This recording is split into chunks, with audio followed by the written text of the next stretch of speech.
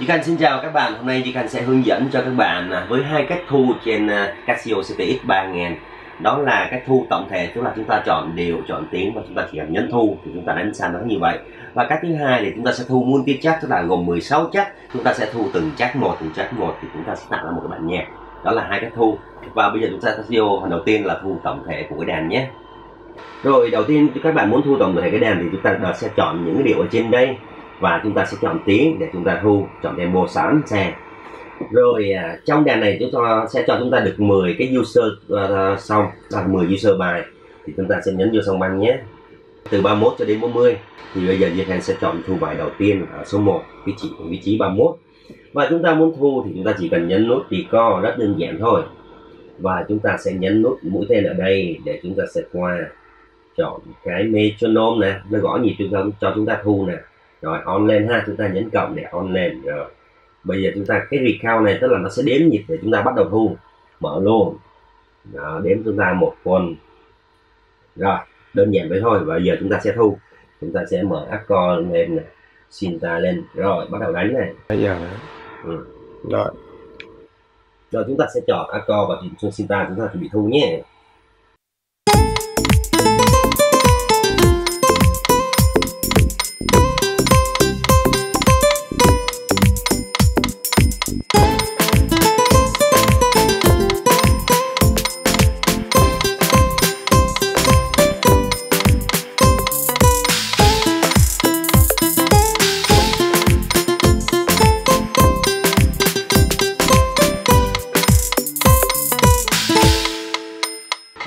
ta sẽ top thì chúng ta sẽ nhấn top ở đây nha. Cũng là nút record và top luôn.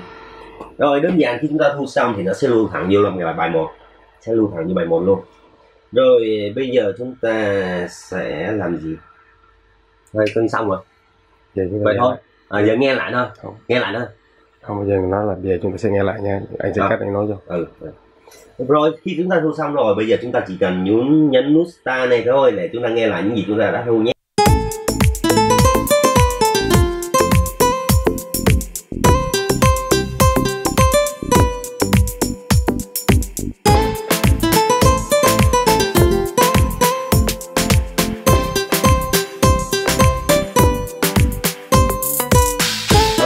chúng ta nghe lại rồi. Bây giờ bài này chúng ta đánh bị fail, bị lỗi thì chúng ta có thể xóa đi. Chúng ta chỉ cần nhấn giữ nút icon này và chúng ta chọn xong liên nhé. Chúng ta sẽ nhấn qua nhấn lại để chọn cái xong liên, xong clear này. Và chúng ta chỉ cần enter và yes là cái bài vừa rồi chúng ta đã xóa. Vâng và cái phần đầu tiên là chúng ta sẽ thu tổng thể của cái đàn thì đã xong. Bây giờ chúng ta sẽ qua phần và bây giờ chúng ta sẽ mua tương thu multi check và chúng ta sẽ thu 16 chắc mỗi chắc một lần nhé. Bây giờ chúng ta muốn thu thì chúng ta sẽ chọn một bài trên user. Nãy là Di Thành sẽ à, thu bài một rồi bây giờ Di Thành sẽ chọn bài thứ hai. Bây giờ chúng ta chọn bài thứ hai xong chúng ta nhấn nút record. Rồi chúng ta nhấn mũi tên qua để chọn cái chế độ thu nhé. Nãy là metronome chúng ta phải mở lên để gõ nhịp cho ta nè. Rồi cái phần recount là đếm nhịp này. Đó, mở lên luôn. Cái phần repeat này thì chúng ta sẽ chọn chế độ là thu mới hay là chúng ta sẽ overdub tức là thu xong mà có thể đè lên nữa cũng được. Đó thì chúng ta sẽ chọn được thôi. Rồi bây giờ đã chọn xong hết rồi. Vâng bây giờ chúng ta sẽ chọn à, uh, chắc nhé. Chúng ta sẽ à, nhấn mũi tên cho đến phần uh, cái red cắt xin này. Đó rồi chúng ta sẽ nhấn cộng trừ để thu chắc nào chúng ta chọn. Nhi Khanh sẽ thu phần trống trước thì phần trống sẽ ở chắc 10 Đấy, chắc 10 ok mà chúng ta sẽ chọn tiếng trống ở bên tôn nhé. Rồi, đơn giản rồi bây giờ chúng ta sẽ thu thôi. Nhấn start ở đây, bắt đầu thu.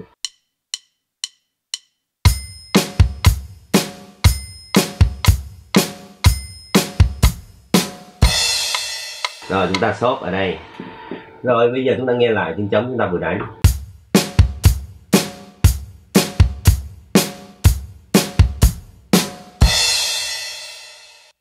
Vâng, chúng ta vừa thu chắc 10 với tiếng trống xong, bây giờ chúng ta sẽ chọn tiếng bass để thu. Nhưng mà chúng ta sẽ thu ở một chắc khác, tại chắc 10 chắc trống đúng không? Bây giờ chúng ta sẽ nhấn dấu trừ đi. Ví dụ chúng ta chọn uh, chắc à, uh, bass là chắc số 2.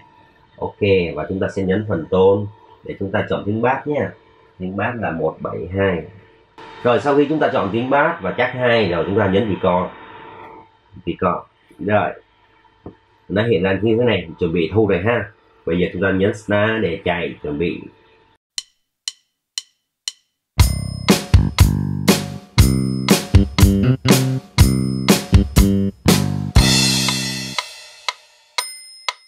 Rồi, chúng ta nhấn stop. Rồi, đơn giản thì chúng ta đã thu được hai chắc rồi. Tắt trống và chắc bát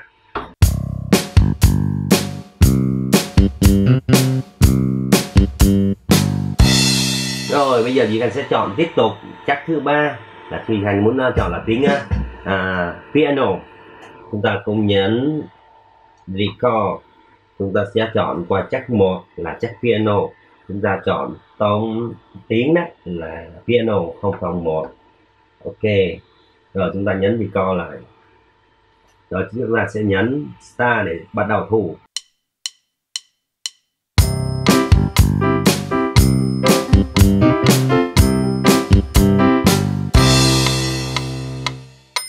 Ok stop vâng cứ như vậy chúng ta sẽ chọn từng chắc chúng ta sẽ chọn từng tiếng để thu với 16 chắc trên đây thì nó rất nhiều cách để chúng ta thu và khi chúng ta thu xong thì nó sẽ tự lưu vô một cái bài nào mà chúng ta đã chọn từ đầu nãy giờ bài 2 thì chúng ta sẽ lưu sẵn chúng ta không cần phải sell gì hết rồi tại vì cái đàn này nó chứa 10 cái user tone nên chúng ta muốn thu nhiều hơn thì sao chúng ta chỉ sẽ chép những cái bài chúng ta đã thu chép ra USB và chúng ta thu cái bài mới ở trên đây đơn giản lắm. Chúng ta sẽ nhấn function.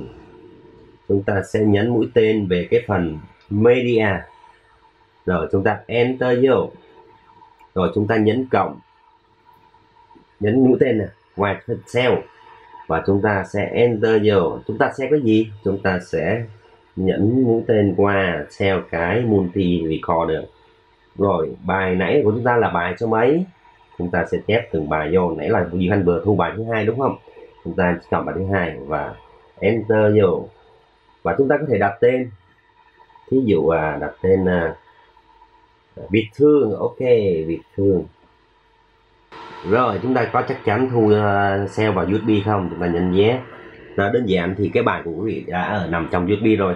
Thì chúng ta có thể xóa bài trên đàn và chúng ta thu tiếp tục nữa. Được thu được rất nhiều cứ sell xong thu được 10 bài và chúng ta sẽ chuyển qua dự bị và xin cảm ơn quý vị đã coi video clip của Việt Thương Music. Quý vị hãy cùng là like và subscribe kênh của Việt Thương để có những video clip bổ ích hơn. Xin cảm ơn quý vị.